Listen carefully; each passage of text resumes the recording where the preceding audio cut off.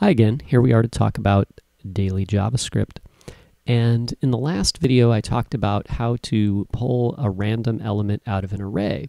And what I'd like to do here is I'd like to um, build a random set of, of elements here, right? So these are all the same on the front, but when we click on them, they flip over, right? And so there's a, there's a picture with a color on the back side, and you can see here, you know, there's a, there should be a pair for each image, right? Um, oh, let's see, um, almost done here. There we go, right? So you can see there's two of each one. And I actually have 25 different pictures, so it shows, you know, it pulls up a random set and you know, if we refresh it, you'll see you'll see some different images this time, but there there will always be two of each picture, right? So, um, oh yeah, this one actually goes with the one over here, right? Um, so there we go, right? So how do we, how do we do that? How do we apply that random thing to our um, to our example?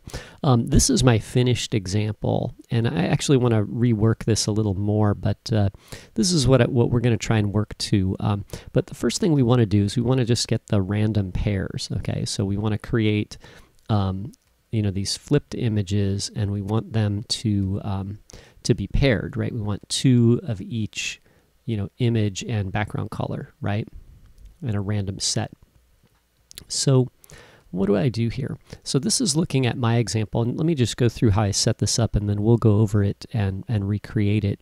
Um, so for me, uh, what I did, and you could do this differently, I, I actually created a class name for each alien, you know, background.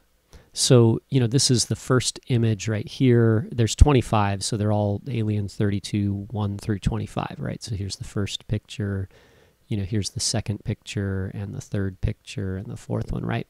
So, you know, in order to apply the image to an element on the screen, what I did is I used a class name. So if I apply a class name, then, you know, that that element in HTML will display this particular picture. And I know it seems a little tedious because I have 25 different classes, but I, you know, I like this. Uh, it does seem a little tedious to type all this, but I like it because um, the alien, the image, is very specific, and then it goes with a color. And so by keeping this portion in the style sheet, you know, you can easily update the color and the image name, you know, without um, having to get way into the logic type code, right? That that is going to be our JavaScript that we write.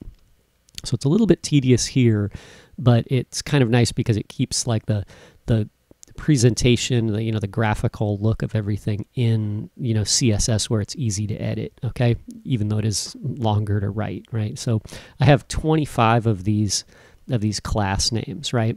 And they're all just alien 1 through 25. Okay. And what I did was I created an array called alien array, and then I named all of the 25 class names here. Okay. So there's all my 25. And we could have we could have, you know, maybe used a, a for loop to generate the the names here. I actually just typed them all in, right? We could have used a for loop to just generate these strings, but you know, essentially every class name that I created above is listed here as a string. Okay? And then what I did was I, I went through this process um, just to create the random ones, and we'll do it over again. Um, I first um, duplicated the array, and I did it with slice. Okay, so we talked about slice in the last example. So here to create a duplicate of the array, I called slice starting at item zero. And I didn't include an ending item, so it returns the entire, you know, array as a copy. Okay.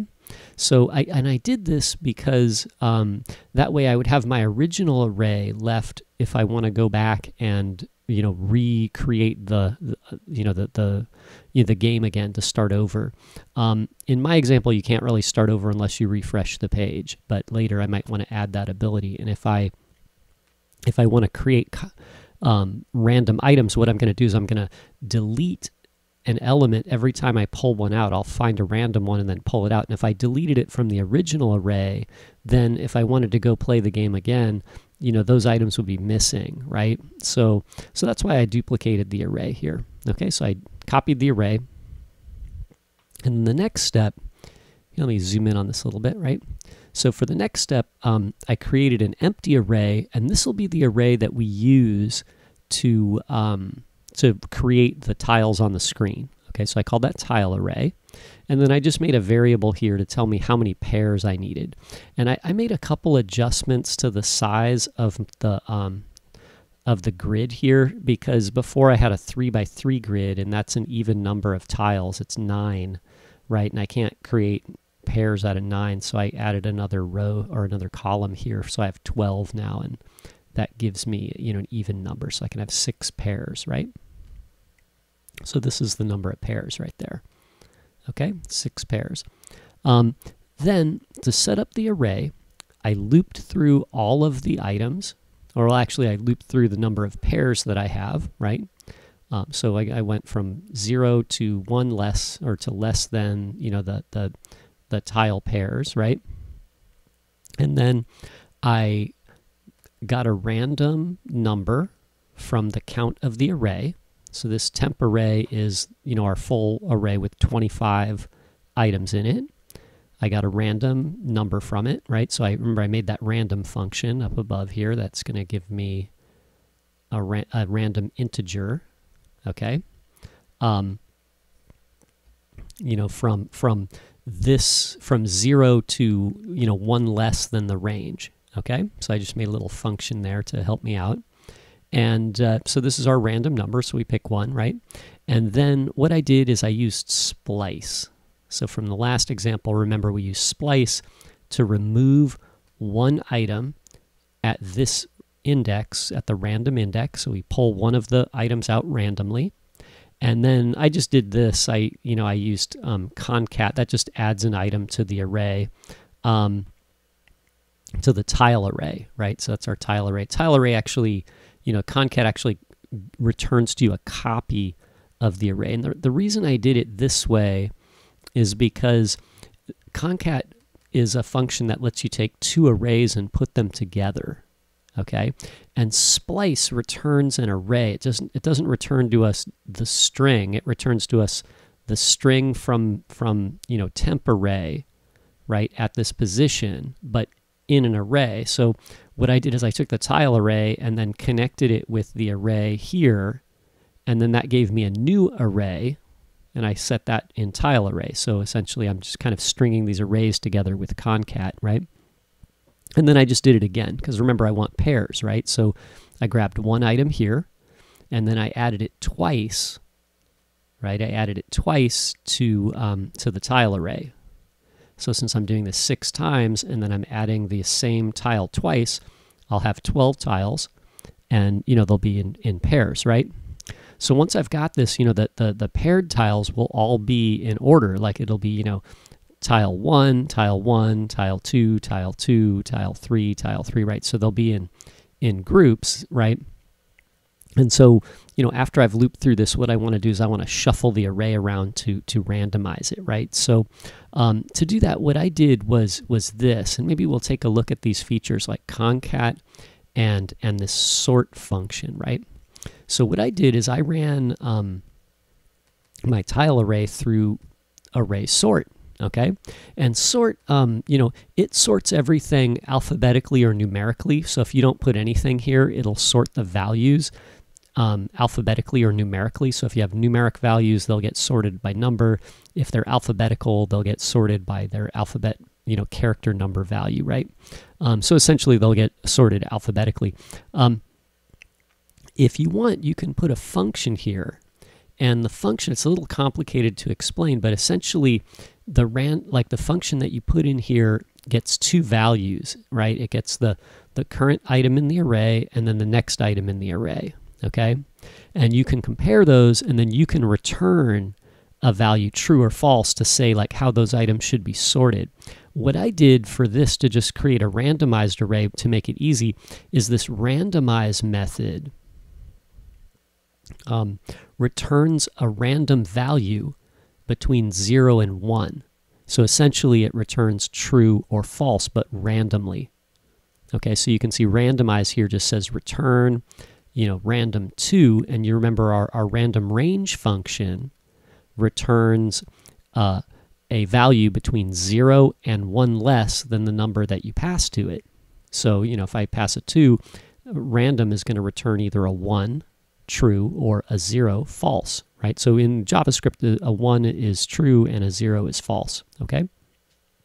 So what happens here is with sort, um, sort looks at every item in this array, and then for each of those items, it gets a random value of true or false. And that random value says, you know, true, this item should go first, or false, it should go last, you know, okay?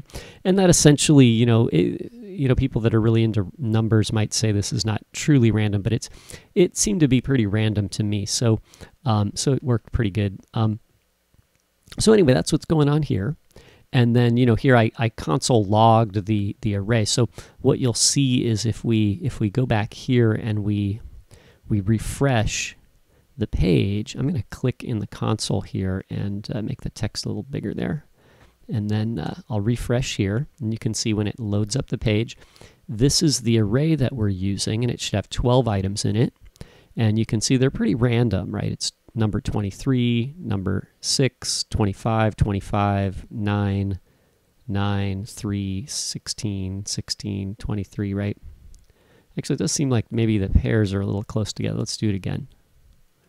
10, 18, 22, 22, 18, 23. It seems pretty random. You know, it does seem like you end up with some pairs. Maybe I should sort them randomly, like twice or something, right? But uh, you could maybe come up with a better randomizer, but uh, but that's what I used, right? So anyway, so now that I've got my my array randomized, then I can assign each one of the classes here, right, in this array to each one of the back divs, that is the, the back side of each of the flipping ones, right? So this was my next step here, right? So I, I got all the back items, and then I used jQuery's each function, okay? And the each function loops through every item in a collection, right? So here we're making a collection by selecting all elements with this class name. And for each of those elements inside this function here, the keyword this represents one of those elements. And then each returns an index value right which is the the index of the element right so in other words like if i if i say you know jquery select dot back then if there's three you know elements on my page that have the class name back then the i value here will be 0 1 2 right you know for each as we loop through each of the three elements and then dollar sign this will be each of those elements. So the first time through the loop, i is 0. This is the first item that was class name back. Next time through the loop, i is 1, and this is the next item with class name back, right? Etc. Okay? And so what I did here is I just said, okay, well, you know, this dot add class, and then I said, you know, item from the tile array, is going to be, you know, um, you know, at the at this index right here, and apply that to uh, to to this element, right? And then I gave the element also. I, I went to the parent element, right? So if you recall, our um, our divs are arranged in this way. There's the front of the card and the back of the card, and then they have a parent element that actually does the flipping and you're going to be clicking on this parent element. So when you click on the parent element, I want to know what the back is. And you could, we could do a, a fancier selector, but what I did is I just assigned a data attribute called data name and the class name for the uh, for the tile, right? So that way, uh, you know, every tile, the back tile has the class name, but the parent, the the flipping tile, right, has a data attribute, data name, with the class name also, and we can we can view that in uh, in jQuery, right? So if I look at them here and we see like the first one should be alien five, then um, if I you know inspect it, you can see that the back div class back has card class and back class, and then it also has Alien 5 class. And then its parent element, which is this guy here, class box, you can see that it has data name Alien 5. Now the reason for this is when I click on these, I want my JavaScript to ask for the data name so it knows that you clicked on the one with uh, you know this particular picture which is alien 5 and then if you click on another one it can compare the name right this alien 5 name and if it doesn't match like the second one is alien 21 so um, you know, if I click on the first one and the second one, you can see they, they don't match because the names aren't the same. This one right here on the end is matching. It says Alien 5. So if I click on this and then I click on this one, my script can say, oh, well, you know, the, uh, the name matches and therefore we know that that's a match. Okay? So anyway, so this video is getting a little long, so I kind of went over everything. Maybe I'll make another video and we'll cover all of the features that I talked about there, okay? And we'll just I'll just rebuild it, right? So uh, thanks for watching, and I hope that that's interesting to people, and uh, you guys all have a nice day.